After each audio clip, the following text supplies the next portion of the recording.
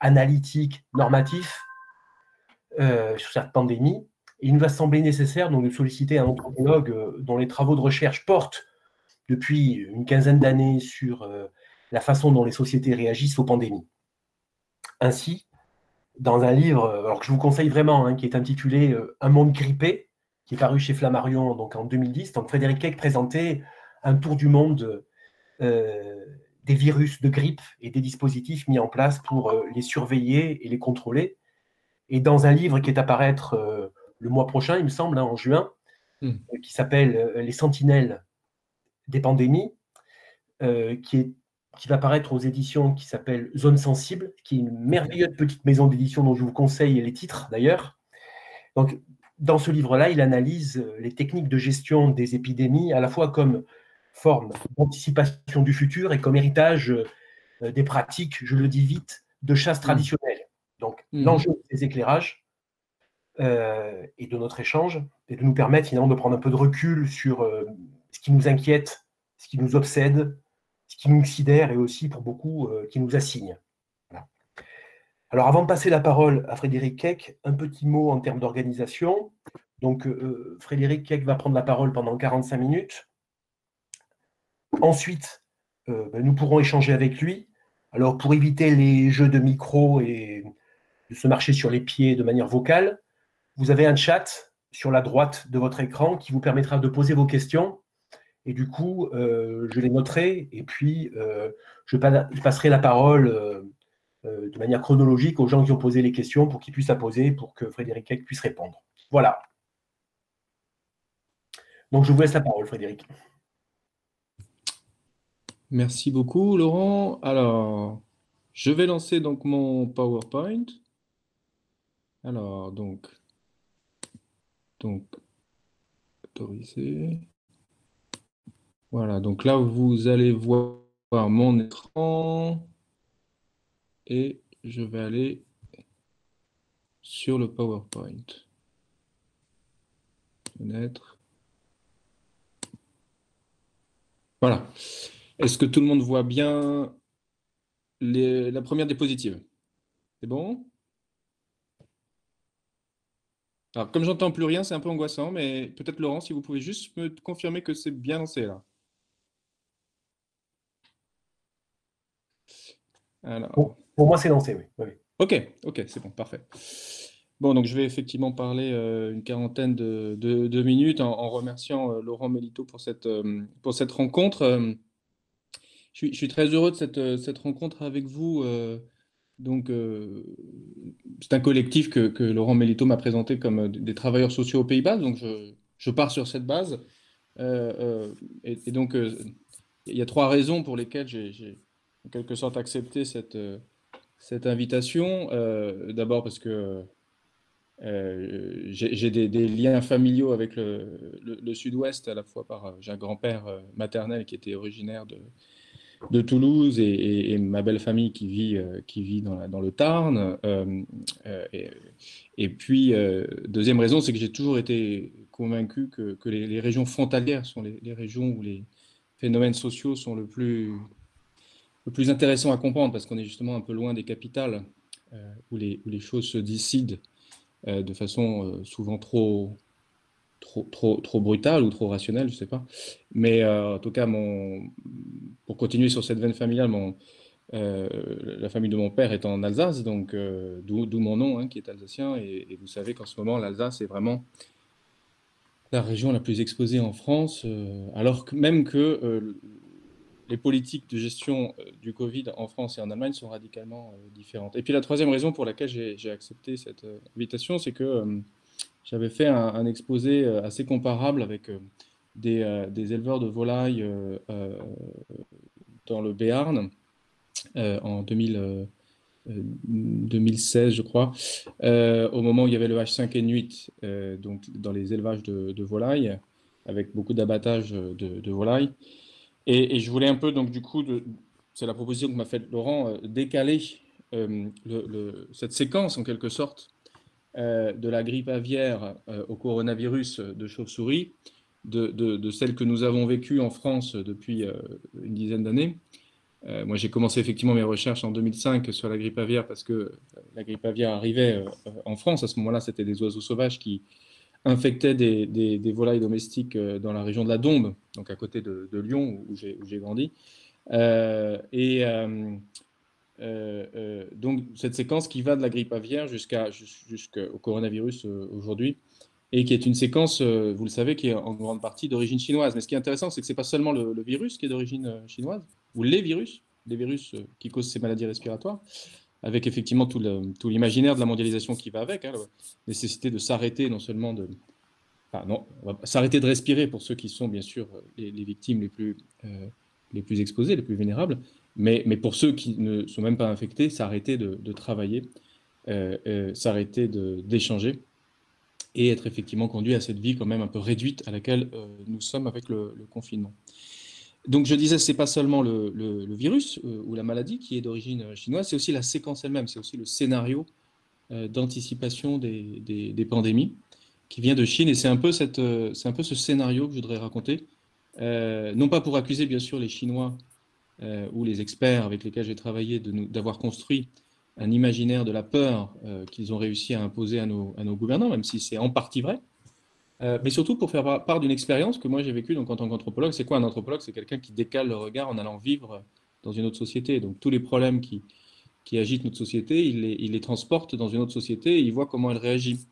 Donc il y, a plein. Moi je suis parti euh, sur ces histoires de grippe aviaire parce que j'avais été, comme vous tous sans doute, très frappé par euh, les abattages de, bovins au moment de la vache folle, euh, à la fin des années 90. Et, donc, comme ça se répétait avec les abattages de volailles, je me suis demandé comment les, Chinois euh, géraient ces abattages de volailles dans, leur, dans leur tradition culturelle.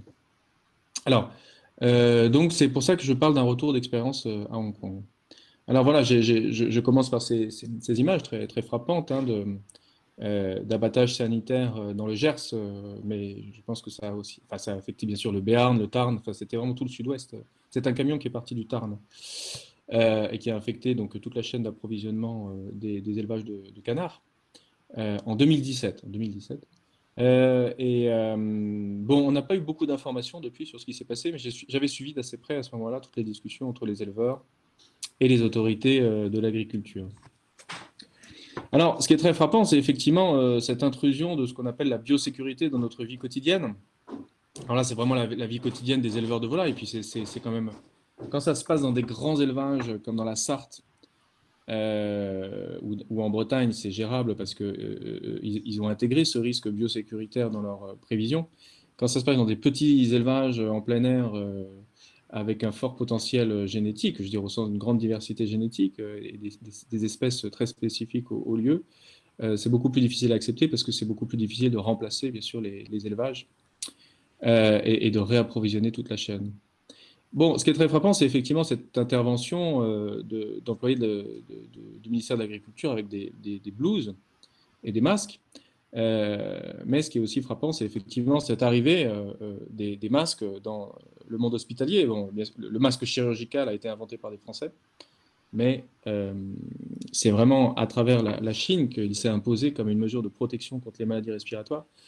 J'ai un collègue euh, grec qui travaille en, Grande-Bretagne qui, montre que le, masque chirurgical employé dans l'espace public pour se protéger des maladies respiratoires a été inventé par un médecin euh, chinois d'origine bon, né en Malaisie, mais qui avait fait des études à Cambridge, en Angleterre, et euh, qui a, commencé à, porter le masque chirurgical en 1910, au moment de la Révolution chinoise, euh, pour se protéger de la peste euh, pneumonique.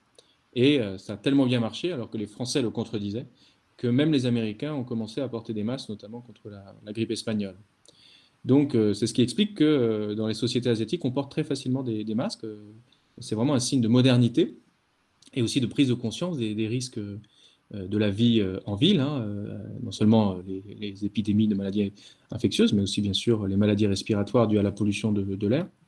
Donc voilà, on se retrouve effectivement dans cette situation, on va tous porter des masques et, c'est vraiment difficile à penser parce que, bah, vous le savez, en France, depuis 20 ans, on, discute plutôt sur la question du voile islamique, de la nécessité de, se présenter à visage découvert dans l'espace public. Et donc tout un tas de, mesures qu'on voyait très très loin, justement les abattages de volailles, les, masques qu'on voyait en Chine, se, rapprochent de nous. Et, donc c'est ce, court-circuit là qui est, très violent parce que c'est vraiment cette biosécurité qui a été conçue au niveau mondial pour nous protéger de maladies qui venaient de Chine qui rentrent dans notre vie quotidienne. Alors, euh, bien sûr, l'origine de cet épisode euh, que nous vivons, euh, c'est l'émergence d'un coronavirus à Wuhan, donc une ville du milieu de la Chine qui, compte 11 millions d'habitants, qui est vraiment une des très grandes villes de Chine centrale. C'est pas la plus grande, hein, la plus grande c'est Chongqing qui fait 13 millions. Euh, et euh, donc c'est un coronavirus au sens où il a une couronne. Euh, c'est un virus assez gros hein, si on compare au virus de grippe. Les virus de grippe sont plus petits et beaucoup plus instables. Le virus de grippe, le, virus, le coronavirus, c'est deux segments d'ARN. Donc il y a peu d'erreurs de réplication, à différence des, des, virus de grippe. Et puis il a cette petite protéine qu'on appelle spike qui est à la, surface et qui s'accroche sur les cellules du système respiratoire. Et ce qui est assez singulier avec ce coronavirus euh, qui est apparu à Wuhan, c'est qu'il s'accroche très bien en fait. Il n'a pas besoin d'une grosse dose, d'une grosse charge virale pour s'accrocher. Et puis il peut, donc il se transmet très facilement. Euh, même, apparemment, il suffit de parler pour euh, transmettre le virus. Il n'y a même pas besoin de tousser. et il s'accroche dans les voies respiratoires et il déclenche des paniques immunitaires. Il déclenche des paniques immunitaires parce que ce virus vient des chauves-souris et qu'on euh, sait maintenant que beaucoup euh, de virus viennent des chauves-souris, Ebola, Nipah, Endra. Et les chauves-souris, qui sont des mammifères, euh, ont développé un système immunitaire très fort, notamment parce qu'elles volent, mais aussi parce qu'elles coexistent à plusieurs espèces dans, des grottes. Et, donc, leur, leur, système immunitaire leur permet à la fois de voler et de résister à tous les virus qui leur viennent des autres espèces. C'est ce qui fait que des virus qui euh, euh, euh, vivent chez les chauves-souris ont une très forte viralité, comme ça ils sont capables de surmonter des réponses immunitaires très fortes, alors que quand ils passent aux humains, bah, nous on a un système immunitaire moins, moins fort, donc, donc on, a ces espèces de panique immunitaire, on est, beaucoup moins apte à vivre avec ces virus qui coexistent très bien avec les chauves-souris. Alors la question qui s'est posée, c'est de savoir d'où venait ce virus, puisque on, fait quand même rarement des bisous aux chauves-souris. Donc, euh, euh, il y a eu deux hypothèses. La première, c'était celle du serpent. Euh, alors, ça, c'est parce qu'on mange beaucoup de serpents en, Chine et que les serpents sont quand même en contact avec les chauves-souris en Chine. mais en fait, c'est une hypothèse très peu fiable parce qu'on n'a jamais trouvé de, zoonose, hein, donc de, virus, de pathogènes qui seraient passés des, animaux aux humains par des serpents. tout simplement parce que les serpents, c'est quand même très loin de nous au niveau morphologique et physiologique. Alors, l'autre hypothèse qui est plus plausible, c'est celle des pangolins, puisqu'on a retrouvé du coronavirus euh, chez des, pangolins de Malaisie? Alors, c'est quand même un peu loin, les pangolins de Malaisie, par rapport aux chauves-souris du sud de la Chine. Ça, les chauves-souris du sud de la Chine, on, savait depuis longtemps qu'elles transmettaient, qu'elles se rapprochaient des environnements humains par la déforestation. Le pangolin, c'est pas bien sûr. Alors, ce qui est sûr, c'est que depuis dix ans, le gouvernement chinois essaye de réguler la consommation de pangolins qui a explosé avec l'enrichissement des Chinois et la consommation euh, d'écailles de pangolin dans la médecine chinoise traditionnelle. Par contre, euh, on n'a pas trouvé euh, de Chinois bouchés de pangolin qui auraient comme ça attrapé ce coronavirus. Donc, il nous manque en quelque sorte le, pangolin zéro, si vous voulez. On peut suspecter le pangolin, mais il nous manque la chaîne de transmission. Donc, la seule chose dont on est sûr, c'est que c'est un coronavirus, ça cause des paniques immunitaires chez les humains parce que ça, des, ça vient des chauves-souris. Et puis, donc, la panique immunitaire, elle n'est pas seulement dans l'organisme humain, elle est effectivement dans les sociétés, puisqu'on voit dans la réponse des autorités euh, sanitaires de Wuhan euh, et du Hubei, alors après, vous le savez, après trois semaines d'hésitation, hein, euh, tout simplement dû au fait que, un peu comme chez nous, la, Chine était dans un grand processus électoral. on dit souvent que la Chine, c'est pas démocratique, c'est pas des pas des élections comme les nôtres, mais c'était le moment où effectivement euh, euh, la, ville de Wuhan envoyait ses représentants euh, au Parlement de Pékin qui va se réunir fin mai.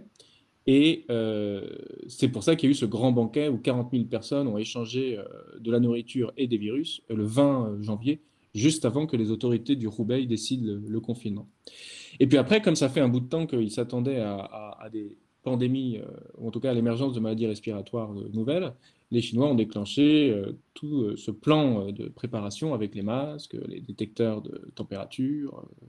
Ils ont très vite séquencé le, génome de ce nouveau virus.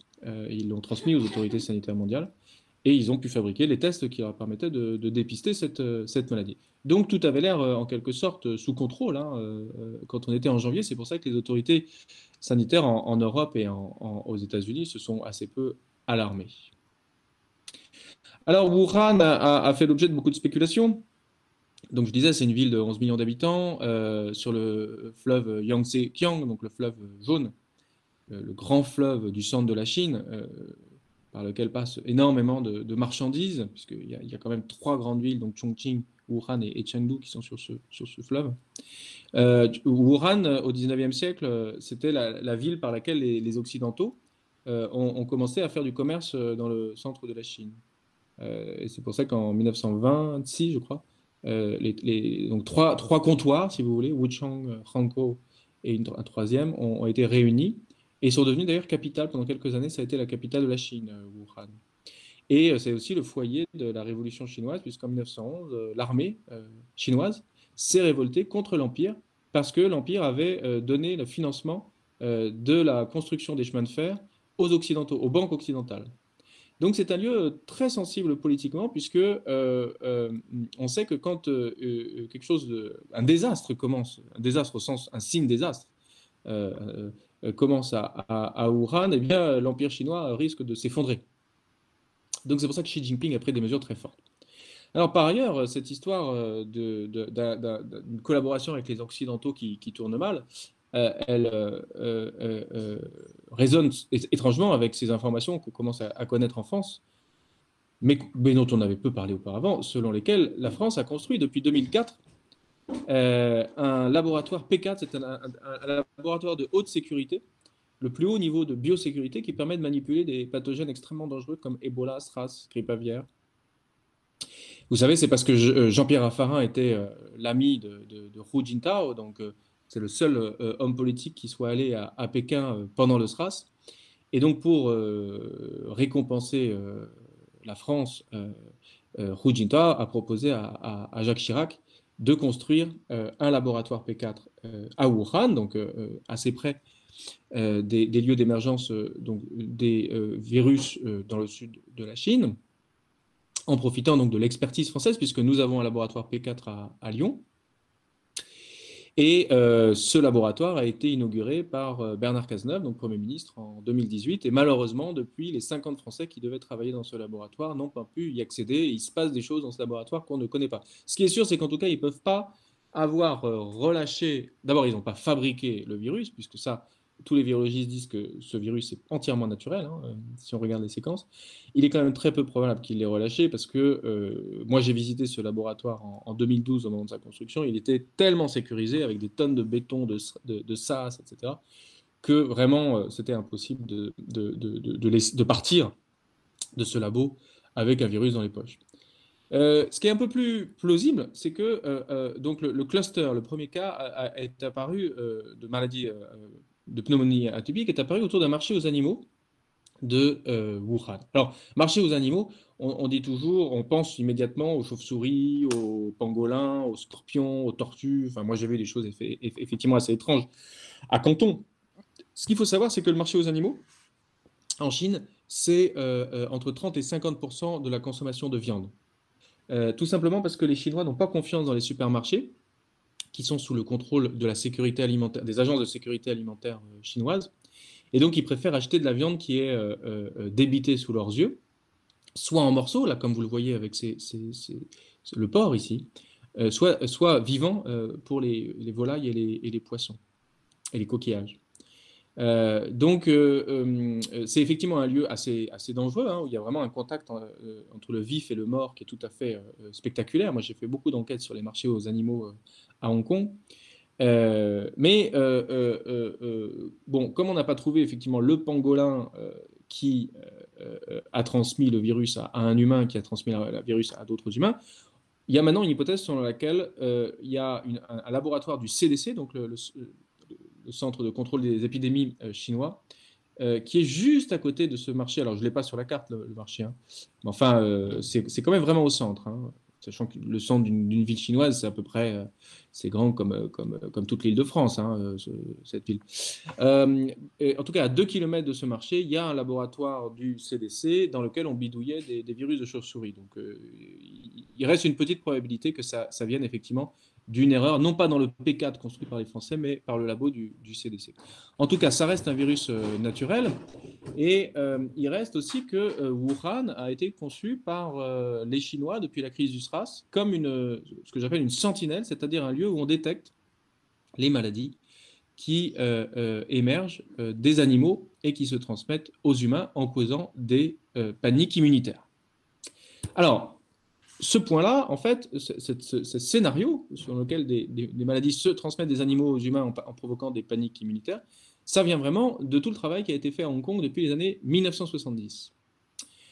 Et vous voyez euh, sur cette diapositive l'analogie très forte hein, avec euh, euh, l'image précédente de, Wuhan. Donc Hong Kong, c'est ce rocher qui a été colonisé par les Anglais en, 1840 juste pour faire un, port de, stockage hein, pour les marchandises qui venaient de, Canton, où, euh, sa, glorieuse majesté a, mis en place le régime du, libre-échange, hein, notamment euh, au point de vue juridique, ce qui a permis effectivement à Hong Kong d'être le point de passage pour un grand nombre de marchandises qui partaient de, l'Empire chinois pour aller euh, dans l'Empire colonial britannique, notamment l'opium euh, puisque c'était quand même l'enjeu des guerres de l'opium qui a permis à l'Angleterre de conquérir euh, Hong Kong. Et puis ensuite, dans les années 50, avec l'afflux de réfugiés qui euh, venaient de Chine populaire, qui fuyaient le régime de Mao Tse-tung, ça a été une espèce de petit paradis capitaliste où on a fabriqué des jouets made in Hong Kong, très peu chers, qui ont inondé le, marché américain et, européen.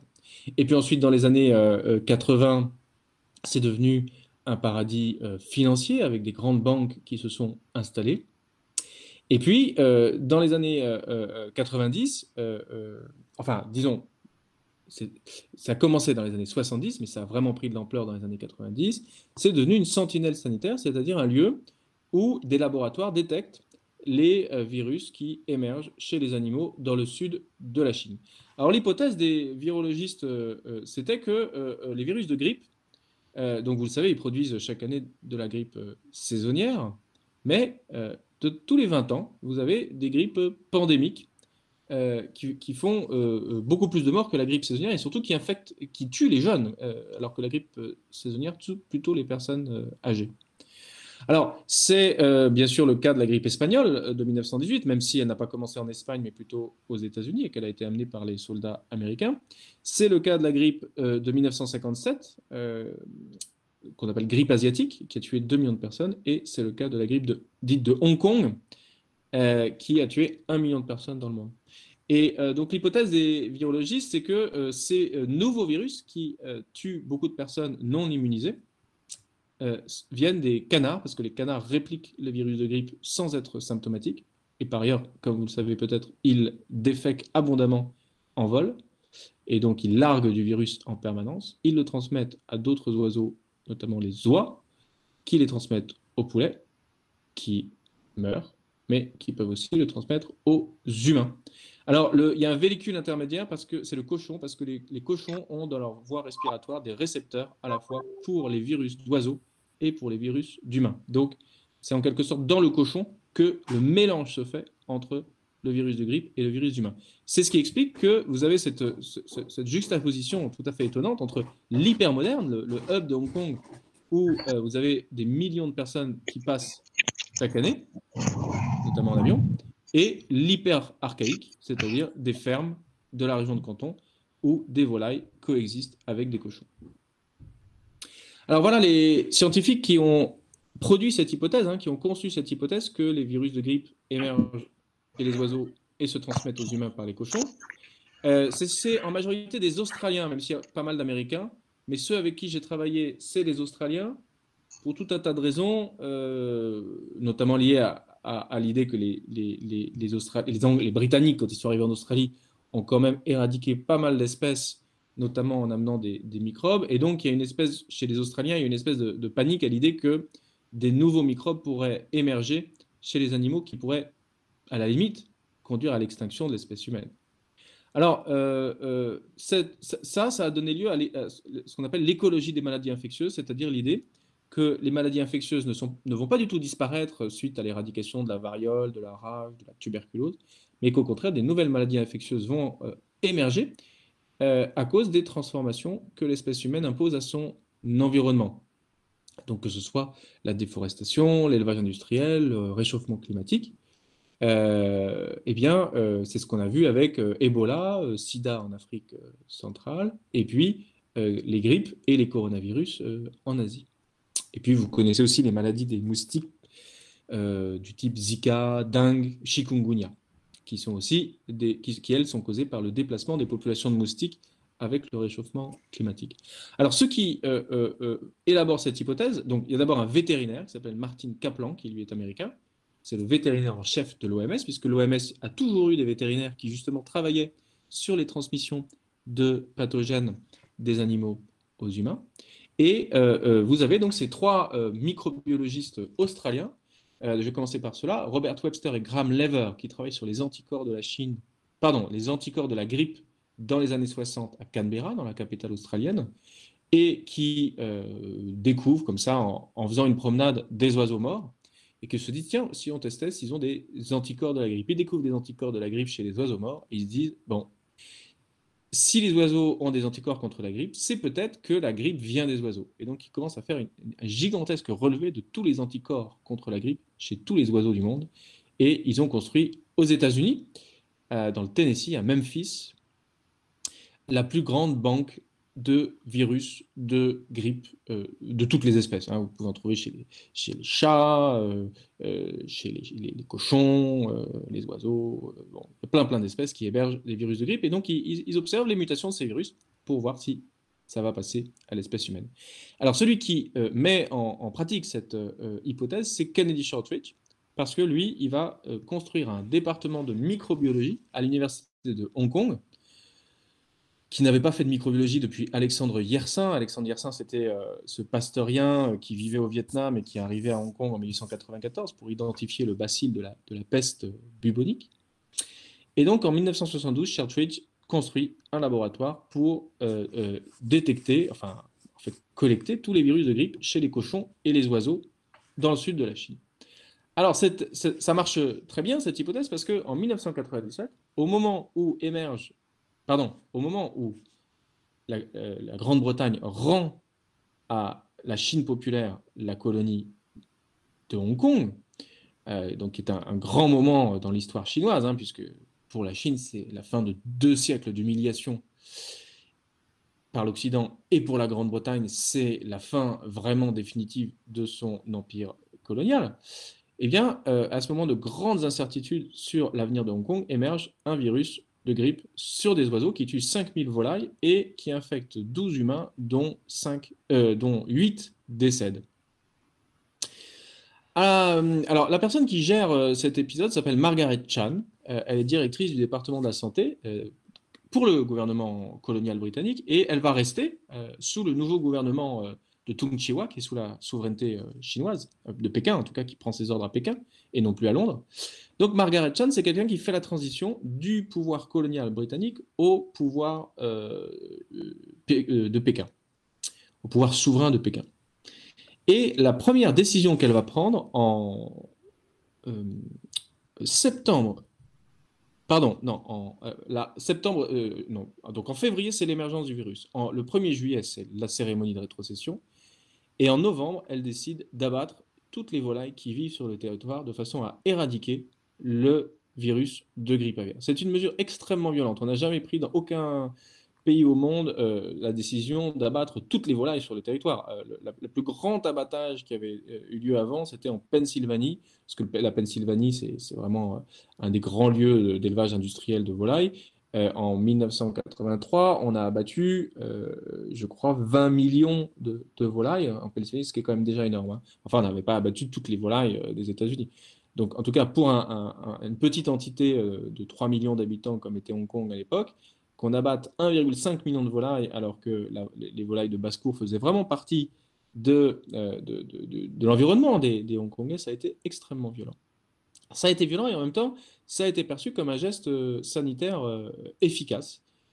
puisque le virus H5N1 a pratiquement disparu de la population humaine. On n'a jamais eu de cas de H5N1 à nouveau à Hong Kong après 1997. Ce qui fait qu'à chaque fois qu'il y avait un, virus de grippe euh, sur des oiseaux, eh bien, euh, le gouvernement répétait ce geste de tuer toutes les volailles qui vivaient sur le, territoire. Et euh, vous voyez que moi, j'ai pu assister à un de ces abattages en 2008, en décembre 2008, et une ferme qui avait été infectée par le H5N1. Et je suis allé au marché central où toutes les volailles convergeaient. Et vous voyez que les, les, journalistes étaient là pour photographier, et moi-même, je pouvais photographier cet abattage par des employés du département d'agriculture qui euh, euh, euh, mettaient les, volailles dans des, dans sacs poubelles pour ensuite les, les, les, tuer avec du gaz, et ensuite les enterrer avec de la, de la chaux. Alors, donc j'ai dit que le virus H5N1 n'est plus jamais réapparu chez des humains à Hong Kong. Par contre, il s'est diffusé au, reste du monde et euh, bon, notamment chez les oiseaux, mais aussi chez les humains. Vous avez eu donc des cas euh, en Turquie, euh, en Afghanistan, en Pakistan, toute l'Asie du Sud-Est. L'Indonésie est le lieu où il y a eu le plus de cas avec des possibles transmissions interhumains. Le Nigeria, l'Égypte. Et dans tous ces pays, donc à chaque fois que des humains étaient infectés par le virus H5N1, on tuait toutes les volailles. alors, alors, le nombre d'humains qui ont été infectés par le H5N1 depuis 1997, c'est à peu près 800. Et le nombre d'humains qui sont morts du H5N1, c'est 500. Alors vous direz pourquoi avoir tué tant de volailles? On, a, tué des milliards de volailles hein, pour éviter la transmission. Bah, parce que comme le taux de létalité était très fort, hein, à peu près 65%, on se disait que si ce virus passait d'humain à humain, euh, ce serait vraiment la, pandémie qui tuerait des millions de, personnes. Enfin, vous voyez que les mesures ont été quand même très très violentes pour euh, nos amis les, oiseaux. Alors, ce qui fait que les mesures aussi ont été très fortes à, Hong Kong, c'est que Hong Kong avait cette tradition bah, du marché aux, animaux, où on pouvait acheter son poulet vivant. Alors voilà un, marché aux animaux dans lequel j'ai passé beaucoup de temps. Euh, vous voyez que les, volailles étaient donc vendues. C'était pas vendu très cher, hein, euh, entre 30 euh, dollars quand ça venait de, Chine populaire et 60 dollars, donc entre 3 et 6 euros hein, le, poulet. Et donc les consommatrices, c'était souvent des femmes d'une cinquantaine d'années, hein, venaient choisir leur poulet dans la, dans la cage. Donc elles inspectaient le cloaque du poulet pour vérifier qu'il était frais. C'est vraiment la fraîcheur qui compte. Et ensuite, euh, le vendeur euh, débitait, enfin tuait, égorgeait le poulet dans l'arrière-boutique. Euh, c'est les espèces de cônes que vous voyez derrière son, coude. Et ensuite, il le débitait en, morceaux. Alors, les raisons pour lesquelles les, Chinois aiment tant acheter le poulet vivant, c'est effectivement, comme je disais, une espèce de méfiance par rapport à la, la viande de supermarché.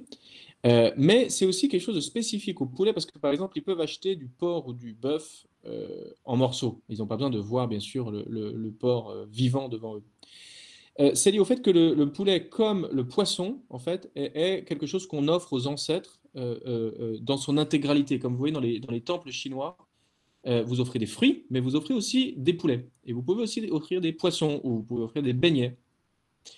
Euh, des gâteaux. Et donc, l'idée, c'est que la complétude du poulet hein, euh, euh, est un signe de, complétude, si vous voulez, de, l'offre et de bien-être, enfin, pas de bien-être, mais de, totalité. De totalité. Le, poulet, en quelque sorte, si vous voulez, le, symbole de la communauté qui offre ce cadeau aux dieux pour que les dieux garantissent eh bien, la, prospérité de la, de la communauté. C'est pour ça que vous pouvez offrir des poulets ou des poissons, mais vous n'offrez pas des morceaux de porc.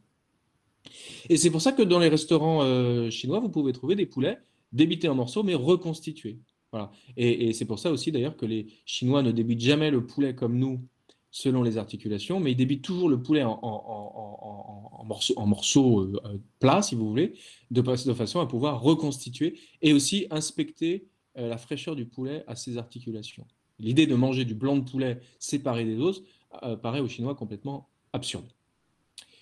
Alors, c'est important parce que ça permet de comprendre que, euh, alors que le gouvernement aurait bien aimé se débarrasser de tous ces poulets vivants euh, qui, présentaient des risques d'infection euh, et faire consommer aux, Chinois de Hong Kong du, poulet surgelé, comme, le font les Américains, le chicken McNugget. Vous savez que Chicken McNuggets, c'est la, raison de l'augmentation de l'élevage industriel parce que les Américains, dans les années 80, ont commencé à, demander une viande moins grasse que le bœuf, mais tout aussi facile à manger. Donc, on a commencé à manger du, poulet en beignet.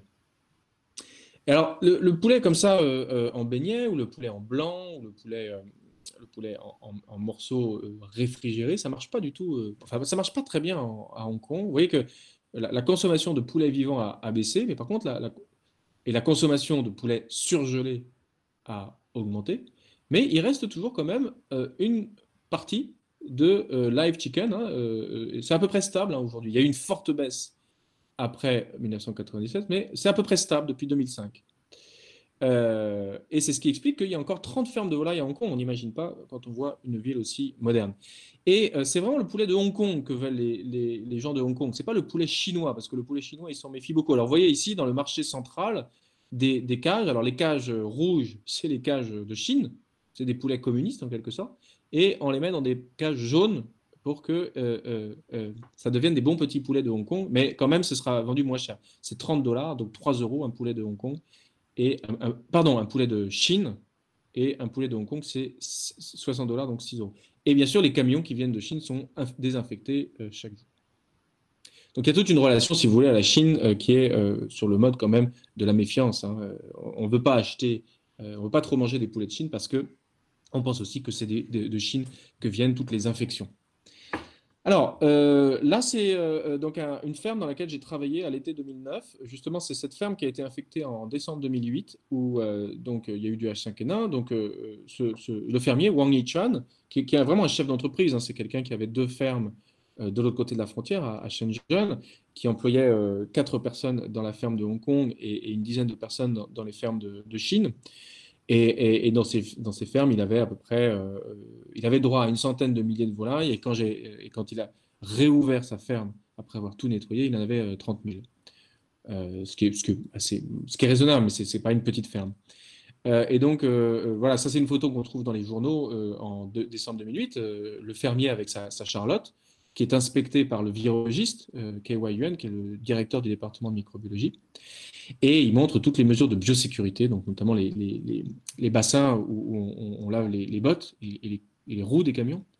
Euh, et puis, une des mesures de biosécurité, c'est euh, qu'à l'entrée des cages de, de, volailles, euh, vous, avez des, vous avez des poulets non vaccinés. donc tous les poulets sont bien sûr vaccinés deux fois dans leur vie. Euh, avec des vaccins qui viennent des Pays-Bas euh, quand on est à Hong Kong, c'est des bons vaccins. Mais euh, vous avez une soixantaine de poulets non vaccinés, et ces poulets non vaccinés sont les premiers à mourir quand la grippe arrive dans la ferme. Et ces poulets sont appelés sentinelles. Ce qui est très intéressant, c'est qu'en chinois, on, dit le terme pour sentinelle, c'est Xiaobingji, qui signifie littéralement des soldats, pardon, des poulets soldats, des poulets qui sifflent comme des soldats, des poulets soldats qui sifflent. Donc c'est vraiment, c'est un peu notre, notre, concept de lanceur d'alerte, mais euh, au niveau euh, des, des qui inclut les, les, poulets et en plus qui en fait des soldats sur une ligne de front contre le virus. Alors, euh, donc vous avez vu KYUN, donc il vous l'avez vu dans la ferme avec son, son, beau costume, vous voyez que c'est vraiment un notable, hein, c'est quelqu'un qui, qui, est très bien habillé.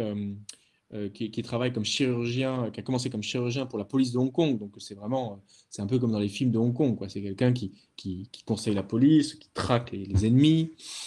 Et là, voilà, avec sa blouse blanche, euh, c'était le directeur du département de microbiologie. Et cette photo, vous la trouvez dans le musée d'histoire de la médecine de, de, Hong Kong, où vous avez justement Alexandre Yersin qui découvre la peste à Hong Kong en 1894. Et puis vous avez les héros du SRAS.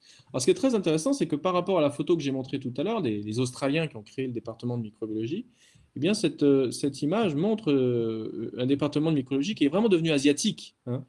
Euh, et ça, c'est aussi une des grandes leçons du coronavirus, c'est que maintenant, les publications sur les maladies qui viennent de Chine ne sont plus faites par des Anglais, des Australiens, des Américains, parfois des Français, mais c'est vraiment fait par des Asiatiques eux-mêmes. Alors, je vais très vite sur cette photo, mais vous avez Guanyi, qui est celui qui a justement montré que les, les, coronavirus du SRAS venaient des chauves-souris et des civettes qui étaient vendues sur le, marché de Canton pour la médecine chinoise traditionnelle. Donc K.Y. Yuan, qui était le chef du département de microbiologie, John Nichols, qui était un pathologiste qui a donc beaucoup travaillé avec des patients dans les hôpitaux et qui lui est anglais, Malik Peris, qui lui est du Sri Lanka et qui a été le premier à identifier le coronavirus, parce qu'à l'époque, on ne savait pas que les coronavirus pouvaient passer des animaux aux, humains. C'est des virus qui causent des maladies plutôt bénignes, à la fois chez les animaux et chez les humains, mais il est le premier à avoir montré qu'un coronavirus, quand ça passe des chauves-souris aux civettes, aux humains, ça déclenche des paniques immunitaires. Maintenant, c'est vraiment un dogme de euh, la microbiologie. Et puis, vous avez euh, Hong Chun et Leo Poon, qui sont deux techniciens, en quelque sorte, qui ont assuré donc, toutes les euh, manipulations permettant de faire des publications. Cette équipe a été vraiment une, des plus grandes découvreuses de faits scientifiques au moment du, du SRAS. Et c'est vraiment des héros dont le visage est connu, dont le nom est connu, et, un peu comme nos philosophes en France, si vous voulez, qu'on interroge régulièrement pour savoir si la pandémie va tuer l'humanité tout entière. Alors, ah, c'est dommage, la photo n'a pas marché. vous avez donc ici des images du SRAS en Chine. alors, le SRAS, pour vous rappeler, ça a infecté 8000 personnes et ça en a tué 800. Donc, un virus qui tue 10% des personnes qui, l'infectent, c'est quand même pas mal, puisque le coronavirus de Wuhan, euh, son taux de létalité est entre 2 et 3%. Et qu'il infecte surtout des personnes âgées. Le SRAS, il, tuait surtout des personnes jeunes et du personnel euh, hospitalier. Euh, J'ai plus les, chiffres en tête, mais le, personnel hospitalier qui est mort euh, du SRAS est, beaucoup plus important que, pour le coronavirus Covid-19. C'est pour ça qu'on l'a appelé le 11 septembre asiatique, parce que l'idée, c'était que c'était un virus qui euh, se transmettait euh, par, euh, par l'air, bien sûr, mais aussi par les avions, hein, puisque vous avez un médecin chinois qui avait traité des patients à Canton et qui a infecté une dizaine de personnes dans un hôtel à Hong Kong, et ces personnes ont transmis le virus à Pékin, Taipei, Bangkok, Singapour et Toronto. Et puis vous avez un héros chinois euh, du, du SRAS qui s'appelle Zhong Nanshan. Malheureusement, la photo n'est pas très bonne, mais euh, euh, c'était le, premier en Chine populaire à alerter les autorités de Pékin sur la nouveauté de ce virus, alors que le ministère de la Santé disait que c'était une pneumonie et que la maladie allait disparaître très facilement avec des antibiotiques. Et donc, c'est le premier à dire non, non, c'est un virus nouveau, nous n'avons pas de vaccin, les antibiotiques ne marchent pas, et donc il va falloir confiner c'était déjà, euh, on ne parlait pas de confinement comme on l'a fait à Wuhan, mais il va falloir prendre des mesures de distanciation sociale. C'est ce que la Chine a fait et c'est ce qui a permis très rapidement de contrôler le, SRAS qui a disparu. Euh, euh, qui a disparu au, mois de juin 2003. Le seul cas de SRAS qui, qui a eu lieu de ce qu'on appelle la deuxième vague, c'était à Taïwan, où il y a eu une échappée de laboratoire, c'est-à-dire effectivement un biologiste qui travaillait sur le SRAS et qui a infecté des personnes dans son foyer domestique. Mais donc, vous avez ces images très impressionnantes qu'on trouve à l'entrée de l'hôpital euh, des, maladies respiratoires de, Canton.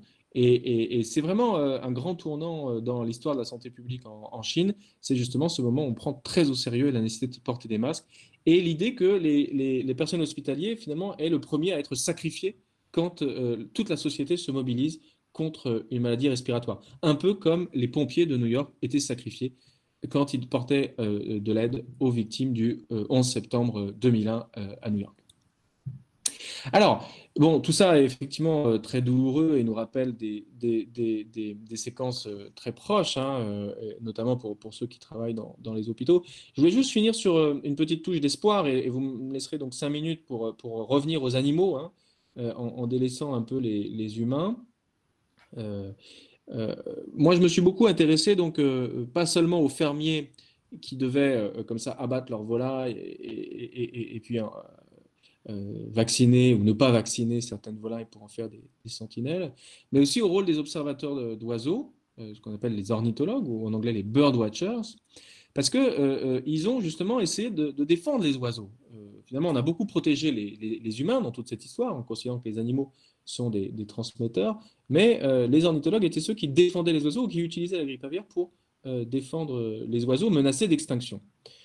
Alors, euh, voilà une carte qui a été construite par les ornithologues de, Hong Kong en 2007, juste au moment où j'ai commencé mon, terrain. Et dans cette carte, on voit que les cas de grippe aviaire sur des oiseaux sauvages à Hong Kong ne sont pas du tout dans les endroits où il y a des oiseaux sauvages. Les oiseaux sauvages, si vous voulez, ils viennent, donc ils viennent du, nord de la mer de Chine, donc du Japon, de Corée, ils arrivent par là, et puis soit ils passent euh, par là, là il y a de la forêt, là il y a y a un delta, le delta de la rivière des Perles, ça, tout ça est très riche pour des oiseaux sauvages, ou alors il passe plutôt par les îles en bas, et vous pouvez observer des oiseaux magnifiques sur toutes ces, toutes ces îles. Or, en fait, les oiseaux sauvages porteurs du H5N1 étaient au centre de Hong Kong, donc dans la région la plus dense de, Kowloon. Vous avez la plus grande densité euh, de population humaine au monde. Euh, c'est notamment là que s'est transmis le, SRAS en, 2003. Euh, et c'est vraiment sur le mode de l'épicentre d'une épidémie ou d'un tremblement de terre. C'est au centre de Kowloon qu'on trouve le plus grand nombre d'oiseaux sauvages porteurs du H5N1. Alors pourquoi?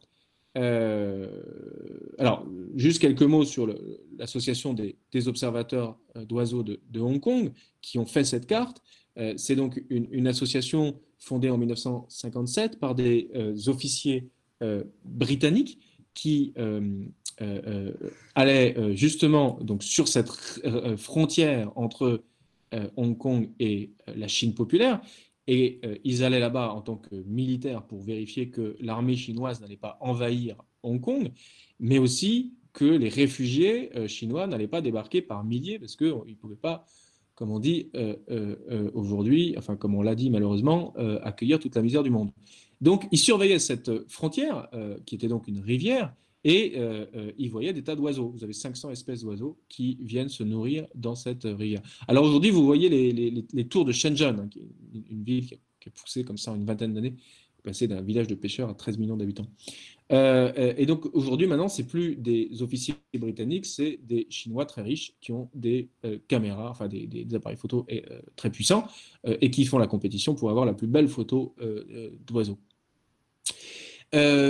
Alors, cette association d'ornithologues, elle a eu de grands succès, euh, notamment pour la préserver euh, des euh, réserves naturelles, donc la réserve de Maipo, justement en montrant qu'il ne faut pas fermer la réserve de Maipo parce qu'il n'y a pas d'oiseaux sauvages porteurs du H5N1, ou la réserve de Longue Vallée, qui est ici qui est un, lieu de riziculture et qui était menacé par un projet de construction d'une voie de chemin de fer qui a finalement été abandonné par le gouvernement. C'est ce qui est illustré par cette image où vous avez des spatules à face noire qui triomphe euh, euh, d'une entreprise de construction, la KCRC, Kowloon, euh, Canton Railway Company.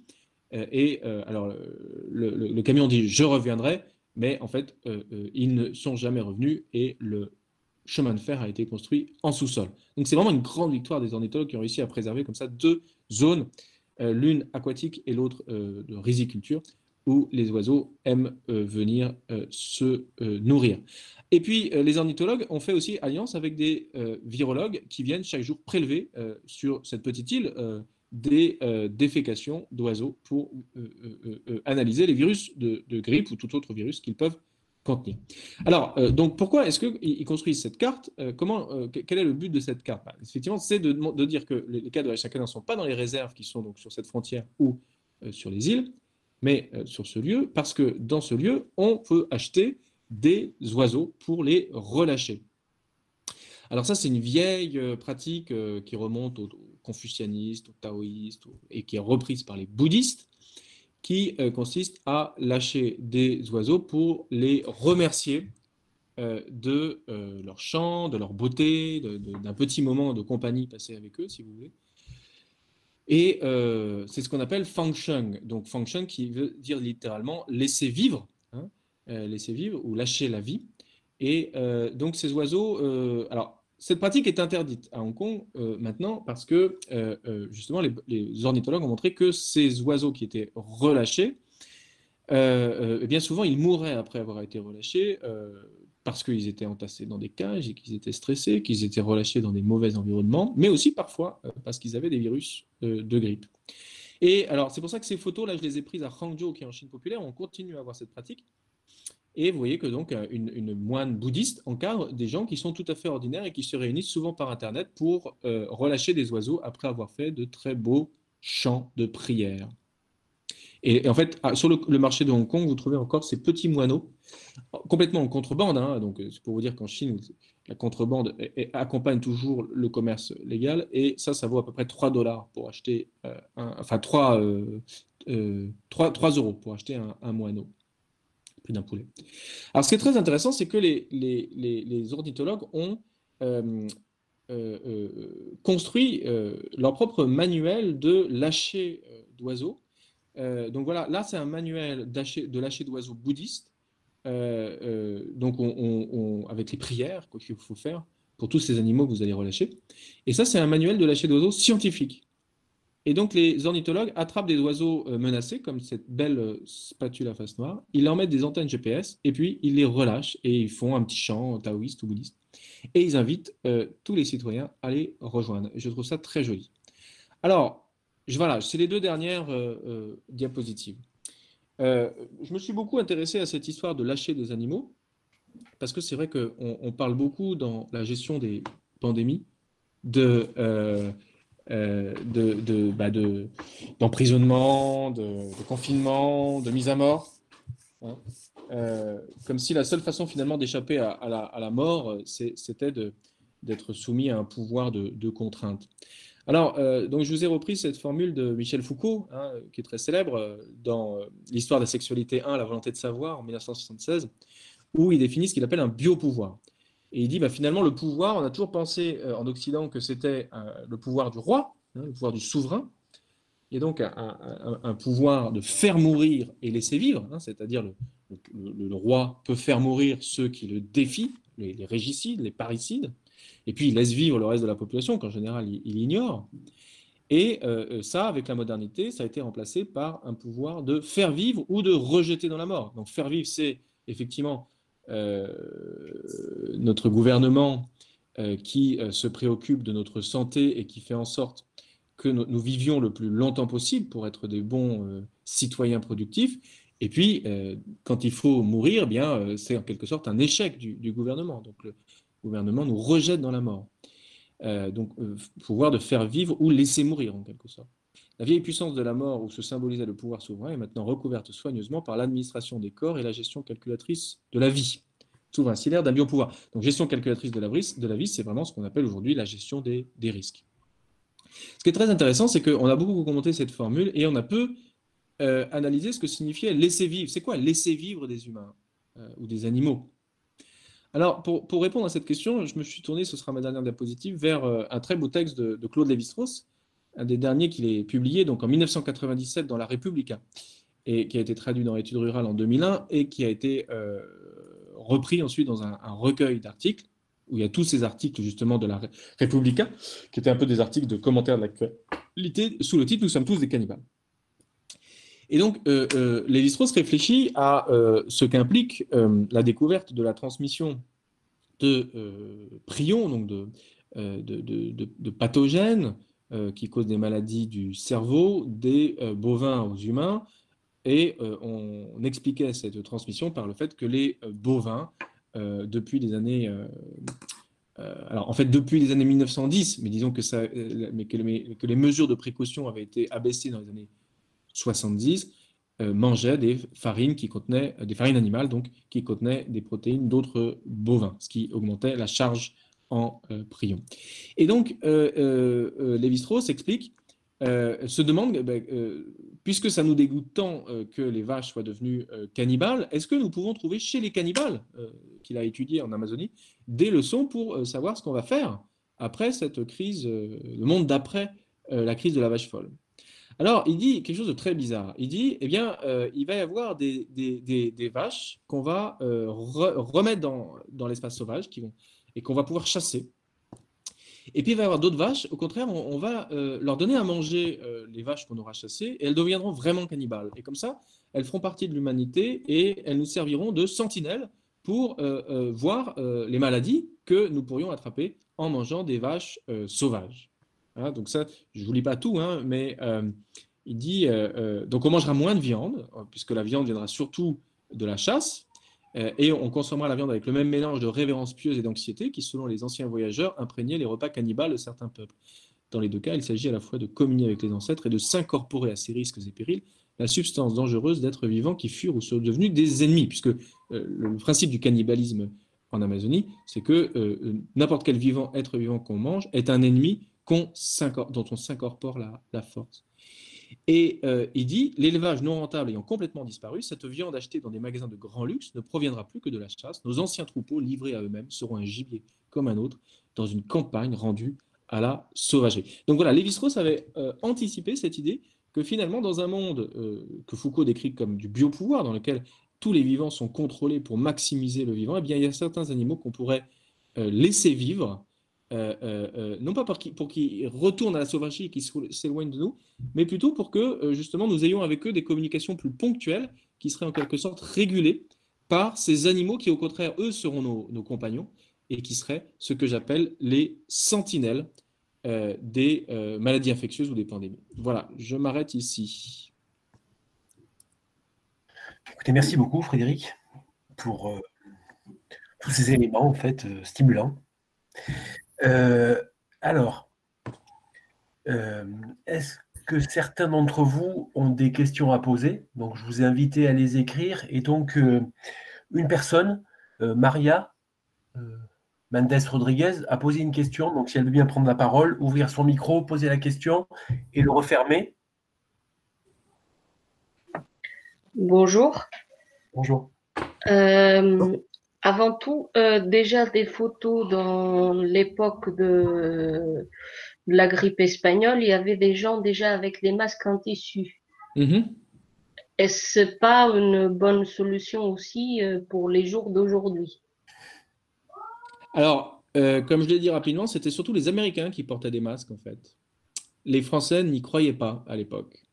Il faudrait que je vérifie, mais c'est vrai que dans les photos de la grippe espagnole qu'on qu'on trouve pour la France. D'abord, on en a très peu, hein, parce qu'en France, on a, un peu caché ça, on essayait de, faire passer ça dans les morts euh, de la guerre. Euh, en tout cas, il y avait très peu de, masques en France. C'était vraiment les Américains, parce qu'ils avaient vu que le Chinois qui avait appliqué ça euh, à la, à la, peste pneumonique, ça avait marché. Donc, c'est quand même très intéressant de comprendre pourquoi les Français ont toujours résisté, alors que c'est eux qui ont inventé le masque chirurgical les Français ont résisté depuis un siècle à l'idée de porter des masques dans l'espace public.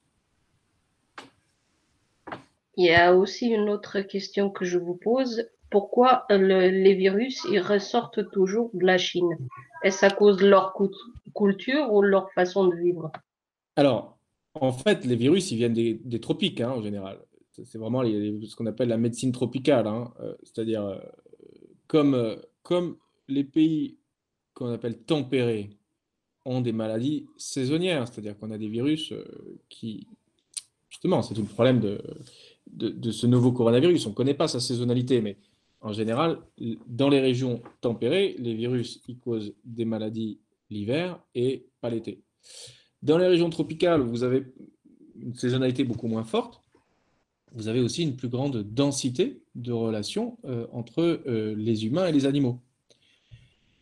Donc, les régions tropicales, c'est quoi? C'est l'Asie du Sud-Est, euh, euh, l'Afrique centrale et euh, l'Amérique centrale. Enfin, l'Amérique du Sud. Du Sud. Alors, l'Amérique du Sud, il n'y a pas beaucoup de diffusion d'épidémies, tout simplement parce que c'est quand même assez vide et, ça l'est de, plus en plus. C'est plutôt, plutôt justement les, Européens qui amènent des maladies aux, Indiens d'Amazonie. En Afrique centrale, il y a pas mal de maladies qui émergent, hein, Ebola, sida.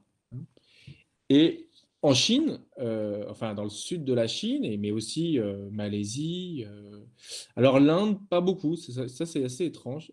et vous avez donc beaucoup de virus qui, qui, émergent. Donc c'est pas seulement la Chine, hein, c'est pas. Alors ce qui est spécifique à la Chine, c'est que la Chine c'est un grand pays industriel à proximité d'une grande zone d'émergence virale euh, parce que c'est justement tout cet écosystème tropical du sud de la Chine. Euh, une, autre question a été posée par euh, Sylvie Robière-Poujade, si elle veut bien la poser, s'il vous plaît. Oui, alors c'est par rapport à la prise en charge mondiale de les perspectives aujourd'hui? Ça un petit peu entre les pays euh, qui ne sont pas forcément d'accord ni sur la prise en charge, ni sur euh, comment euh, se projeter dans l'avenir. Voilà. Donc l'OMS, on ne sait pas très bien. Voilà, c'est un peu, les messages sont un peu brouillés. Donc vous avez rencontré un certain nombre de chercheurs, un certain nombre de, personnes. c'est quoi l'écosystème là qui va pouvoir prendre en charge ce type de choses qui peut se reproduire à n'importe quel moment? Hmm. Ah bah ça, c'est un écosystème politique de, régulation et c'est très compliqué. c'est très compliqué la régulation des épidémies parce que vous avez à la fois les experts qui sont au niveau local. Hein. Enfin, les experts, c'est ceux qui circulent à tous les niveaux. Hein. Mais moi, ceux que avec qui j'ai travaillé, ils étaient vraiment des très bons connaisseurs de, l'écosystème de Hong Kong, hein, euh, comme, lieu d'émergence. Après, vous avez les, gouvernements euh, qui, essayent de négocier avec leur société civile. C'est pas facile, on voit bien. Et puis après, au-dessus, vous avez euh, l'Organisation mondiale de la santé. Donc ça fait, ça fait trois niveaux en quelque sorte. Euh, alors, le problème, c'est que euh, l'Organisation mondiale de la santé, justement, elle repose sur les contributions financières et les décisions des États membres. Alors, quand certains États membres, comme les États-Unis, se retirent du jeu parce qu'ils sont dans des politiques isolationnistes, ça permet à d'autres États membres de gagner de l'influence, comme la Chine. Et donc, on est effectivement dans ce moment un peu, bizarre où la Chine qui en 2003, au moment du SRAS, avait été quand même euh, très critiqué par l'OMS, et ça avait permis justement à des gens à Hong Kong ou à, Taïwan de, prendre de, l'influence à, l'OMS. La Chine, grâce à cette crise, mais en fait déjà depuis plusieurs années, hein, puisque le docteur Tedros a été euh, nommé euh, avec un fort soutien de la Chine. La Chine est en quelque sorte, si vous voulez, comme à l'époque du, maoïsme, est, le, fer de lance de la, contestation de la puissance de l'Occident. Donc, euh, c'est les Africains et les, Asiatiques qui ont élu le docteur Tedros contre les, Occidentaux. Euh, donc, euh, depuis l'élection de ce docteur Tedros, et avant le docteur Tedros, c'était Margaret Chan, qui était déjà chinoise. Hein, L'OMS est quand même beaucoup plus pro-chinoise que pro-américaine. Donc, donc, en tout cas, dans cette espèce de grand rapport de force entre la Chine et les États-Unis, on est à un moment de basculement. Et donc, c'est pour la France, pour l'Europe, c'est très compliqué de se situer. Parce qu'on a de moins en moins d'influence en France sur la politique de l'OMS. Juste en complément de ma question, vous parlez euh, de la France. La France qui a quand même eu euh, des rapports très privilégiés par rapport au laboratoire qu'on a à Lyon, euh, dont vous parlez, le P4 à un moment donné, euh, c'est aussi euh, euh, quelle est la capacité aussi de l'Europe, l'Europe en quantité institutionnelle européenne par rapport à, la gestion de la crise. le problème, c'est le problème, c'est que l'Europe n'a pas de politique sanitaire. c'est ça. elle, a, elle, a, une politique économique, elle a une politique sociale qui est assez fragile aussi, mais elle n'a pas, depuis les années 50, ça a été un gros débat, hein, mais depuis les années 50, elle n'a pas de politique de, santé publique et elle n'a pas de politique de défense, les deux étant liés. Ouais. Puisque l'OMS, elle, elle lie la question euh, sanitaire et la question militaire. Hein. La question, c'est celle de la sécurité globale. C'est la question de comment les, les États s'associent, s'allient pour se protéger d'une épidémie qui arrive dans un autre pays. Mm-hmm. OK. Avant de laisser la parole à, à, Nina qui a, une question à poser, moi j'avais du coup une question qui était euh, complémentaire. Euh, vous disiez euh, la France n'a pas de politique. De. L'Europe, pardon, n'a pas de politique. De. du coup, est-ce qu'on peut faire une typologie des, types de politique d'appréhension et de gestion ah oui. ces pandémies? Oui, alors là, vous me, tirez sur, vers un, domaine où j'ai des choses un peu compliquées à dire. Je ne sais pas si c'est ça. Non, parce que ce que, j'essaye d'argumenter dans plusieurs euh, entretiens, c'est que euh, euh, on parle beaucoup de la préparation. Hein. la préparation aux pandémies. La France est-elle prête à cette pandémie? Où était-elle prête? En fait, la préparation aux pandémies, c'est un truc qui a été inventé par les Américains dans les années 90 Hein, avec un transfert de, mesures qu'ils avaient prises contre une attaque nucléaire par l'Union soviétique euh, pour se protéger contre toutes sortes de menaces, qui seraient euh, catastrophes naturelles, ouragans, tremblements de terre, inondations, attaques terroristes et pandémies. Euh, à un moment où ils redoutaient aussi que Ben Laden achète aux soviétiques une arme biologique qui diffuserait en Afghanistan. En gros, c'était ça le scénario. Et donc, ils se sont dit, on va se préparer à la prochaine pandémie. On va acheter des vaccins, des, masques, on va faire des exercices de simulation, on va mettre en place des sentinelles un peu partout. Comme ça, on va repérer tous les virus qui émergent et qui risquent de causer des épidémies sur notre sol. à l'époque, c'était vraiment les États-Unis qui se protégeaient. C'était pas, bah, c'était même pas l'OMS, hein, c'était les États-Unis. C'était Bill Clinton. Hein. Ça a été complètement amplifié par euh, George Bush, mais c'était Bill Clinton à l'époque. Et cette histoire que, cette idée qu'on allait se préparer à la prochaine pandémie, euh, ça a été approprié par les Chinois en 2003 avec le SRAS. Hein, ils se sont dit, ah oui, effectivement, ah, c'est ce que les Australiens, si vous voulez, ont fait à Hong Kong, et c'est ce que les Chinois se sont appropriés avec le SRAS en se disant, bon, si effectivement on veut devenir des leaders mondiaux par l'économie, il faut aussi qu'on devienne des leaders mondiaux dans le sanitaire. Et donc, être des bons leaders dans le sanitaire aujourd'hui, c'est préparer aux pandémies. Donc, on va faire de la bonne préparation aux pandémies. Alors, bon, j'ai des arguments pour dire que, euh, effectivement, du fait qu'ils étaient euh, euh, alliés à ces chasseurs de virus, ils, avaient des bonnes compétences pour, préparer aux pandémies. Et j'ai un autre argument qui est qu'en France et en Europe, on a manqué cette séquence parce que nous, on était focalisés sur le principe de précaution. Alors, le principe de précaution, c'est quoi? C'est de maximiser les risques. C'est de dire, quand on a euh, un risque qui vient de l'extérieur et qui menace notre population, on maximise le risque et on prend les mesures les plus coûteuses. Hein, c'est vraiment ce qu'a dit Emmanuel Macron. Euh, en, matière de, gestion d'épidémie, euh, il n'y a pas de coût. on, prend la mesure maximale pour. On, maximise le risque, on maximise les coûts et comme ça, on n'aura pas d'épidémie. Alors ça, en fait, c'est une sorte d'extension de, la politique de prévention. En, Europe, on sait très bien faire de la prévention des risques, c'est-à-dire qu'on calcule les risques de diffusion des épidémies sur notre territoire. Donc ça, c'est très bien pour la tuberculose, par exemple. On adapte la vaccination euh, aux épidémies. Euh, et ça permet de distribuer les risques euh, par ce qu'on appelle la sécurité sociale, la mutualisation, etc. Bon, ça, c'est le fondement de notre État-providence. Le problème, c'est que le, moment où on maximise les risques pour se protéger d'une menace extérieure, on prend des mesures extrêmement coûteuses comme euh, l'abattage des vaches folles, l'abattage des volailles ou le confinement, hein, puisqu'on va avoir quand même un débat sur, euh, non pas l'efficacité du, confinement en lui-même, on, voit bien que ça a sauvé des vies, mais l'efficacité comparée du nombre de vies qu'on aura sauvées par le confinement et du nombre de vies qui auront été perdues par le confinement, par tous les effets sociaux et psychologiques du, confinement. Donc, ce que, je, ce que je dis, moi, c'est que la précaution, c'est effectivement notre façon européenne euh, de nous préparer aux pandémies. Mais la vraie préparation aux pandémies, ce n'est pas le confinement, c'est les, les, sentinelles, les simulations et le stockage de masques.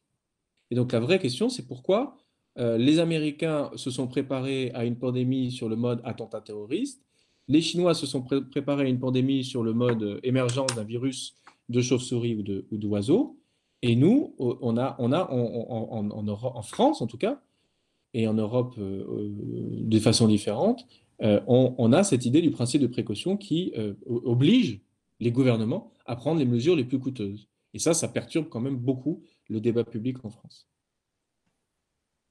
Merci du coup. Euh, Nobila, s'il vous plaît, si vous voulez poser votre question. Oui, bonjour. Euh, du coup, c'était pour savoir quel va être l'impact de cette crise sur la gestion des prochaines crises sanitaires. Euh, comment est-ce qu'on sera mieux préparé? Est-ce que les, réactions vont être euh, plus brutales, on va dire, de la part des autorités? Euh, ouais, C'est quoi les conséquences en fait? Bah, le, problème, c'est qu'en France, on prend toujours les mesures post-crise en fonction de la crise passée et non pas en fonction de la crise à venir. C'est-à-dire que là, on va prendre toutes les mesures pour éviter qu'une pandémie de type coronavirus de chauve-souris se reproduise. Donc, par exemple, là, je lisais euh, dans Paris, euh, on va mettre du gel partout, euh, on va écarter les, pistes cyclables, on va, enfin, moi, je suis très content, je fais du vélo à Paris, mais on va, enfin, tout va être calculé sur la base de maladies respiratoires qui causent des paniques immunitaires. Le problème, c'est que la prochaine pandémie, ce ne sera pas forcément une maladie à coronavirus ou même une maladie de grippe. Euh, ça peut être très bien, euh, par exemple, euh, du Zika ou du dengue, c'est-à-dire des maladies de moustiques, qui causent des, fièvres hémorragiques cérébrales, avec la même difficulté que pour le coronavirus, c'est-à-dire très peu de cas très pathologiques, mais des diffusions énormes dans la population, donc nécessité d'interrompre la chaîne de transmission. Voilà, moi j'ai un peu peur qu'on se mette à acheter du gel, des masques, des vaccins, à complètement réorganiser notre espace public, alors que la prochaine pandémie, ce ne sera pas forcément le coronavirus. Et donc toute la difficulté pour, pour les gouvernants, c'est d'adapter des, mesures qui soient intelligentes, qui soient très flexibles en fait, c'est-à-dire qui soient adaptées à, une pluralité de virus. Puisque en fait, le, problème, c'est euh, la multiplication des épisodes de maladies infectieuses émergentes du fait euh, des changements euh, écologiques accélérés. Voilà, donc c'est un peu cette lourdeur de l'État français, si vous voulez, qui fait qu'il est très lent à, à déclencher, et qu'une fois qu'il est déclenché, les mesures sont, sont, en quelque sorte irréversibles. C'est-à-dire que ça met beaucoup de temps. Euh, euh, euh, si, une fois qu'on aura les armes pour se protéger contre la pandémie de coronavirus, en fait, ce sera une autre pandémie qui arrivera. Merci. Johan Da Silva, vous aviez une question Bonjour. du coup, moi, ma question, c'était est-ce que finalement, cette crise sanitaire euh, de par la gestion qui en est faite et la mise en lumière des limites euh, au niveau euh, ben, du capitalisme et, de la mondialisation, est-ce que ça va être source de mutation sociale profonde voilà, pour nos sociétés? Ah oui, je pense, c'est-à-dire que c'est un accélérateur en fait, cette crise. Hein. Il y a tout un tas de logiques qui étaient déjà là de façon sourde. Hein. Bon, je, pense notamment aux, tensions géopolitiques entre la Chine et, et, les États-Unis, mais aussi, euh, bien sûr, euh, euh, aux effets du réchauffement climatique sur les circulations d'humains et d'animaux. Tout ça, tout ça apparaît de façon très très visible, quoi. Alors que jusque-là, on savait que ça existait, mais on n'en voyait pas les effets.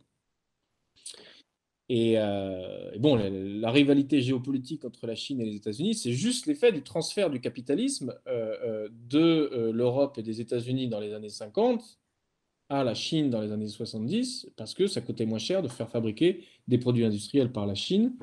Et du coup, on a fait l'économie financière en Europe, aux États-Unis et un peu à Hong Kong et à Singapour, et l'économie industrielle euh, en Chine, si vous voulez, pour résumer très rapidement.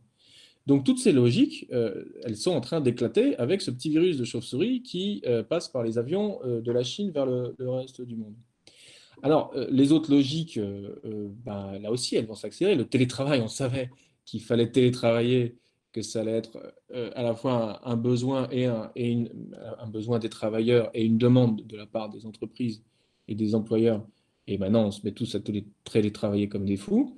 Donc, ça, c'est le problème de gérer le temps de travail et le temps personnel, dans la mesure où on va tous de plus en plus travailler à notre domicile. Après, les autres choses qui vont changer, ça va être effectivement voilà, la consommation euh, d'avions. Est-ce que, les, compagnies aériennes vont repartir? Il y en a beaucoup qui vont rester sur le carreau. Euh, le, trafic de camions, est-ce que, ça va repartir? Vous voyez, tout, ce qui a été mis à l'arrêt, on va vraiment se poser des questions avant de le faire repartir. Ça, ça, c'est un grand avantage du, confinement.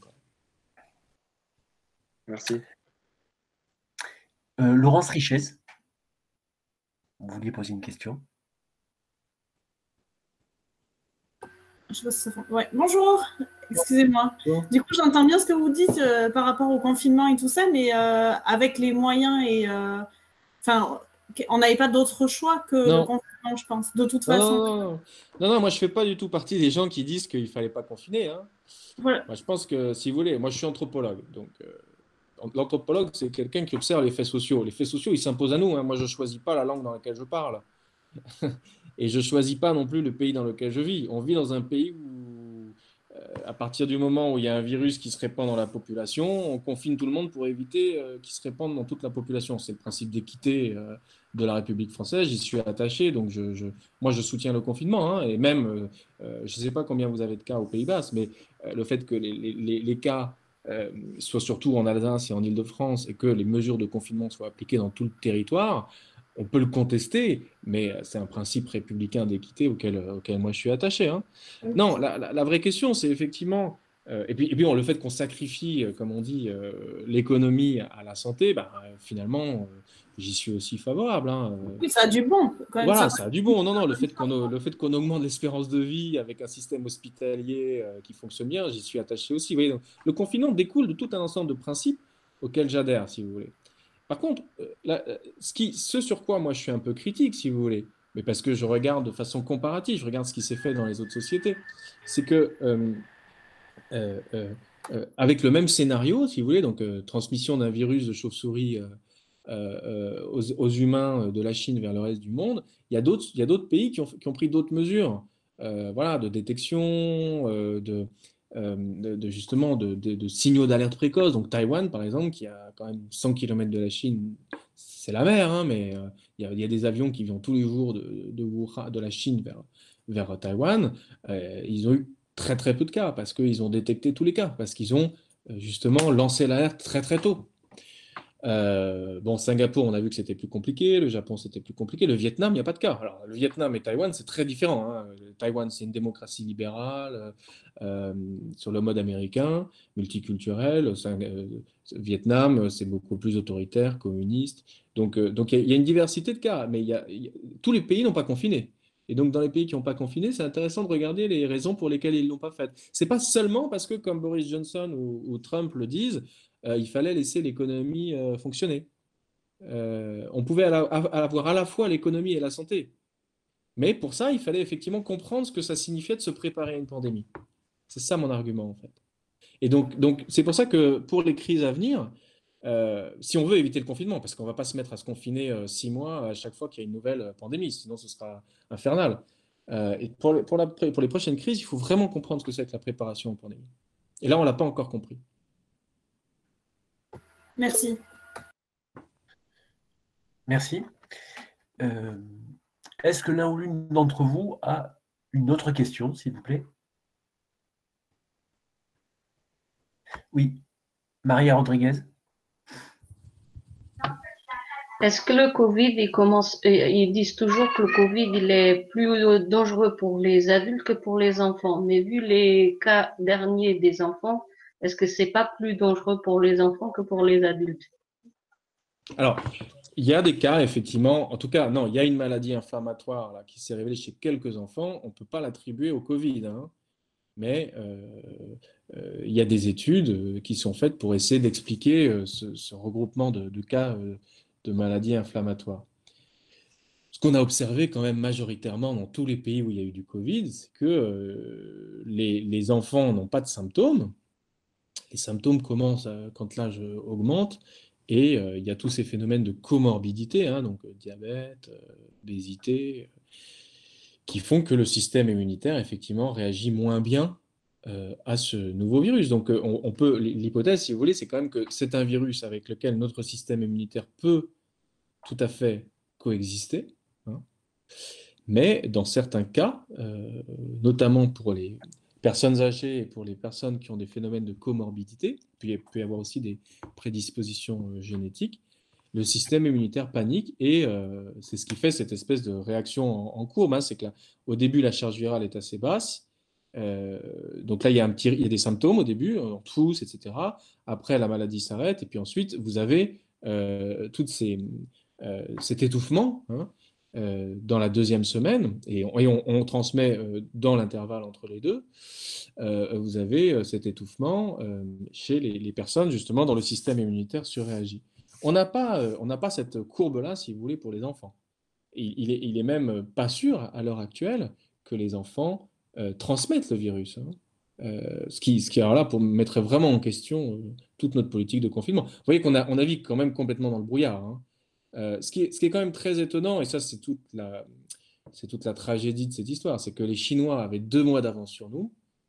Si on avait des bonnes collaborations avec les Chinois, alors ils nous ont donné la séquence, ça c'était sympa. Mais par contre, pour les chiffres, on ne sait rien, on ne sait pas grand-chose. Ils disent qu'il y avait 3000 morts, il y en avait sans doute beaucoup plus, 40 000 sans doute, selon les, urnes, hein, selon les comptes des urnes funéraires euh, à Wuhan. Euh, sur la question de la transmission aux enfants, on ne peut pas trop leur faire confiance non plus. Donc, vous voyez, si on avait des meilleures relations, ils ont des bons hôpitaux, ils ont des bons scientifiques, mais du fait qu'on a des mauvaises relations politiques avec la Chine, on ne sait pas grand-chose. Et ça, c'est dommage quand même pour une, pour une pandémie qui vient de Chine. Merci.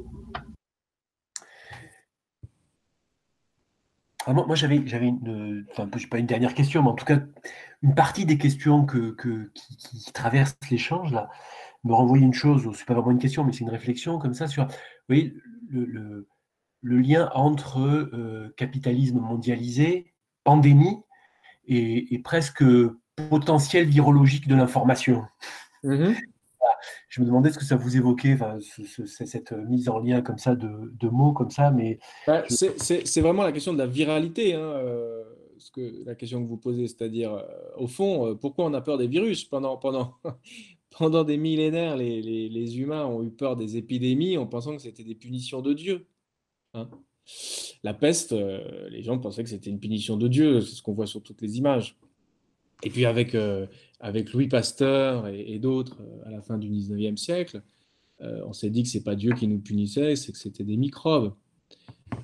Entre-temps, au XVIIIe siècle, on s'est simplement dit que, c'était la saleté, c'était les environnements impropres, c'était les miasmes et tout ça. et puis avec Pasteur et Koch en Allemagne et puis d'autres, on s'est rendu compte que c'était des microbes. Donc on, a pu suivre les microbes. C'était très pratique parce que du coup, on ramenait des problèmes très compliqués de contrôle de, de l'environnement ou de, ou, de, ou de, justement euh, ou d'expiation des, punitions que nous envoyait euh, la divinité. Eh ben, il suffisait de suivre les microbes euh, et, puis d'éradiquer les microbes. Ça, c'était très pratique. Ça nous a permis la vaccination pour la rage, la tuberculose, la variole.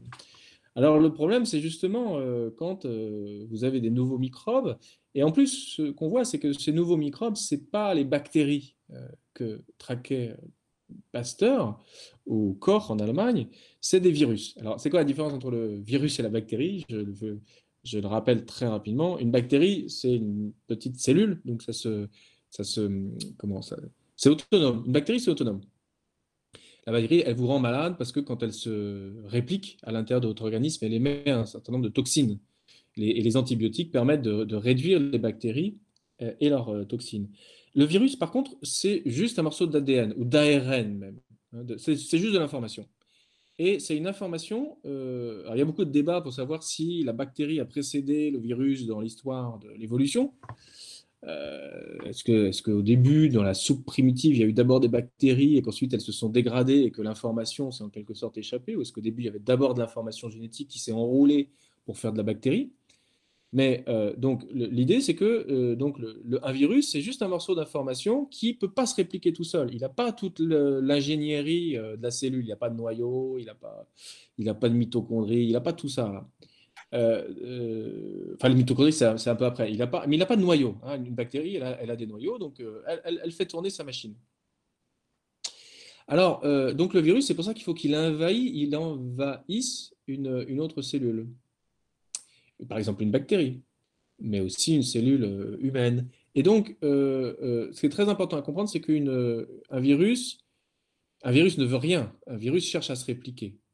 Et la cellule dans laquelle il se réplique a, tout un ensemble de moyens pour reconnaître le virus. Si elle le reconnaît, elle dit bon, ça va, il est sympa ce virus, je le prends, je l'ingère. Et puis des fois, la bactérie, elle se, trompe. Elle ingère un virus qui n'était pas pour elle. Et, donc ce virus, quand il va se répliquer, il va faire dérailler la bactérie ou la cellule. Alors après, vous avez des gros organismes avec des systèmes immunitaires euh, qui, eux, justement, euh, euh, ont tout un tas de cellules pour essayer de bien capter l'information au bon endroit, etc. Et l'idée, c'est que euh, les virus qui viennent des animaux, justement, enfin les virus, euh, ce qu'on appelle zoonotiques ou émergents, euh, eh ben, ils ne sont pas reconnus par nos cellules à nous. Et donc, quand ils ne sont pas reconnus, eh ben, nos cellules paniquent. Voilà, ça c'est la panique immunitaire. Donc là où c'est très intéressant, c'est de comprendre le lien avec tout notre imaginaire des virus informatiques. C'est quoi un virus informatique? C'est un morceau d'information que quelqu'un d'autre vous envoie pour faire dérailler votre ordinateur. ça bug. Quand ça bug, c'est que votre ordinateur, ne reconnaît pas l'information, il ne sait pas la, mettre dans la bonne, boîte. Et eh ben, euh, notre panique immunitaire face au coronavirus, c'est un peu la même chose. C'est une information. Normalement, on devrait pouvoir vivre avec. On, a plein de virus qui nous viennent de partout et on vit avec. Là, c'est juste une information qui vient de trop loin. Ça vient d'une chauve-souris chinoise. Et on n'arrive pas à ingérer cette information-là. Voilà. Et donc, il va falloir mettre en place toutes les mesures pour vivre avec cette information-là. Alors le confinement, c'est une mesure, on peut effectivement se, séparer, euh, vivre complètement protégé de tout, mais il va falloir euh, se réouvrir, mettre des masques, etc. Et surtout, il va falloir apprendre à vivre avec les virus. Merci. Alors si vous en avez, si vous en avez le temps, une dernière, euh, une dernière question. de Sylvie Rebière-Pouillane, s'il vous plaît, puis après nous terminerons. Du coup, voilà. Alors, vous m'entendez? Non Oui, oui. Oui, c'est bon. on a bien compris qu'effectivement, il y aurait d'autres d'autres pandémies, d'autres virus qui vont arriver. Vous avez parlé du la dingue. Donc, euh, comme on est dans le cadre euh, effectivement d'une école de travailleurs sociaux, c'est les enjeux de la prévention en cas de pandémie. Comment est-ce que euh, on peut s'outiller en termes d'éducation à la santé? Est-ce que la Chine ou d'autres pays qui sont habitués au virus ont mis en place des stratégies euh, et nous, la, santé publique, telle qu'on l'appelle, la construction d'une santé publique, c'est un petit peu un pan de la santé qui a été abandonné complètement. C'est-à-dire que les médecins de santé publique aujourd'hui, ça fait 20 ans qu'on les déshabille pour rien en faire. Quoi. Voilà. S'ils peuvent ne plus exister, à la limite, euh, voilà, ça coûte cher pour rien. C'est quand même le raisonnement global en, termes, de, en médical. Voilà. C'est quoi notre enjeu, nous, en tout cas, hmm. d'avoir de l'éducation à la santé, parce qu'on ne l'a pas, l'éducation à la santé, très clairement. Ben, je vais vous faire deux réponses là, sur la Chine. La première, c'est que euh, la Chine, c'est un pays communiste. Hein. Alors, bien sûr, il y a Taïwan, Singapour, Hong Kong, ou c'est d'autres cas. Donc, on ne peut pas généraliser sur les Chinois en général, mais la Chine, la Chine de Pékin, c'est un pays communiste. Un des avantages du, communisme, c'est qu'ils investissent beaucoup dans l'hôpital public. Ah, il y a, d'autres désavantages, c'est que quand vous êtes justement, euh, euh, quand vous voulez comparer des performances, comme, on le dit maintenant, euh, sur les hôpitaux, ben, vous ne pouvez pas vraiment le faire. Donc il y a toute une petite concurrence, toute une petite contrebande qui se met en place. Mais en tout cas, l'hôpital public a fait l'objet d'un investissement important depuis la crise du SRAS. Hein. C'est ce qui explique en partie quand même les performances chinoises dans la, dans la gestion de cette pandémie, c'est qu'ils ont bien traité les, les, cas. En plus, ils ont, intégré la médecine chinoise traditionnelle dans le traitement justement de, de la post-infection. Ça, ça, on va avoir besoin d'un traitement post-infectieux. Hein. Puisque c'est quand même la médecine chinoise traditionnelle, euh, difficile à expliquer les effets, mais en tout cas, ça a un effet apaisant à, long terme. Donc, voilà, ça c'est la première réponse. ça ne veut pas dire qu'il faut qu'on devienne un État communiste, mais en tout cas, effectivement, il faut, qu'on revienne des excès euh, d'un libéralisme qui, qui valorise trop des performances technologiques des hôpitaux au détriment du soin euh, quotidien, quoi, d'un soin égalitaire. Ça, c'est la première réponse. Alors, l'autre réponse, euh, et ça, c'est un défi à la fois pour la Chine et, pour nous, euh, euh, c'est justement le rapport entre le national et, l'étranger, ou entre le, entre, entre le résident et le migrant, en fait. C'est-à-dire, alors, nous, en Europe, on a beaucoup de, migrants ou de réfugiés hein, qui arrivent, et c'est un problème, enfin, c'est un problème, c'est une difficulté dans la gestion de, la, de la santé publique. Mais en, Chine, euh, qui est une population euh, beaucoup plus homogène hein, euh, du point de vue ethnique, avec tous les guillemets, vous avez quand même toute une population migrante qui circule des, villes, des campagnes aux villes, justement pour fournir l'industrie chinoise. Et c'est cette population migrante qui pose un problème. Justement, c'est ce qu'on a vu à Wuhan, c'était la pandémie a commencé au moment du Nouvel An chinois, et donc vous avez des millions de migrants qui retournaient dans leur, dans leur famille. Ce qui est hallucinant, c'est qu'avec le régime maoïste, au lieu de passer un bon Nouvel An chinois avec leur famille, ils ont immédiatement été euh, confinés par leur famille. Hein. Ça, c'est aussi une, autre efficacité du, système communiste, euh, c'est qu'ils ont, ils ont suivi tous les cas euh, grâce au comité de quartier. bon. alors, donc ça, c'est ça, c'est quelque chose d'un peu effrayant dans la société chinoise, c'est-à-dire que les migrants sont traqués, tracés par tout un ensemble de technologies de l'information. Mais il y a quand même dans la gestion euh, chinoise de sa population, cette idée qu'il faut à la fois euh, apporter de la santé publique euh, à, une population de résidents, comme ça, qui ont un certain nombre de droits. Hein. Alors, ce pas des droits au sens occidental, mais qui ont un certain nombre de droits parce qu'ils sont citoyens, voilà, ils travaillent pour le pays, et en même temps gérer toutes ces populations mouvantes. Donc, vous voyez que ça, c'est vraiment le problème pour nous dans les années à venir. Et, alors, nous, on le pose avec effectivement notre distinction entre le national et l'étranger qui est très très différente de celle de la Chine. Mais effectivement, ils, ils, ont, ils ont réfléchi à ce problème.